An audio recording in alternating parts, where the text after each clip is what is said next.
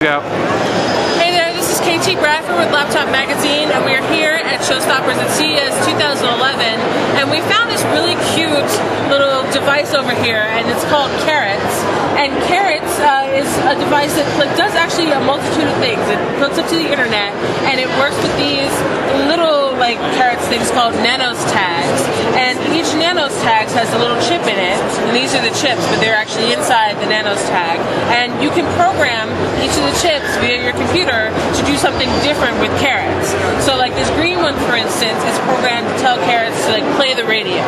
So do that and then Karotz like moves his ears around and stuff happens and it's magical and then you can't hear it because it's very soft but he plays the radio. So I'm here with Marjorie from Mindscape and uh, she's going to tell us like all the other cool stuff that this that Karotz can do because like that's sort of just the beginning Yeah. of what it can do. Yeah, uh. Uh, you can also communicate with your friend and family with Karotz. For example, uh, you have a friend who has Karotz, you have Karotz, and you can communicate with your friend by Karotz. For example, just stop the radio. You can say, "Call my friend," and then you can uh, chat with your friend as a telephone from Karotz to another. Moreover, there is a web, uh, webcam inside. Uh-huh. So when you are at work, uh, you can see uh, what are you doing your children at Uh-huh. home. If they are Are they doing their homework? Right. yeah, absolutely. by smartphone or by computer.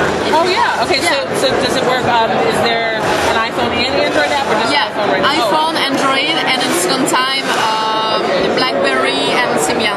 Great. And then also just through the computer, like through the browser. Yeah, yeah, absolutely. Very very cool. And so um, so it can read Twitter. Yeah. It can, it'll read your. It'll just read Twitter to you. Twitter,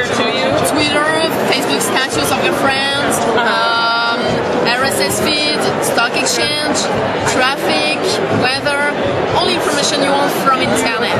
Wow, that is really cool. So um, is this going to come out in America? Yeah, absolutely. In March, April, Okay.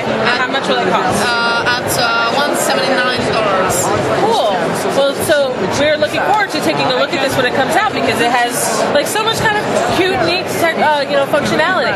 Um, in the meantime, this is KT Bradford, Laptop Magazine, here at the Mindscape table with Karotz, the amazing multitasking, uh, internet-driven, cool toy thing.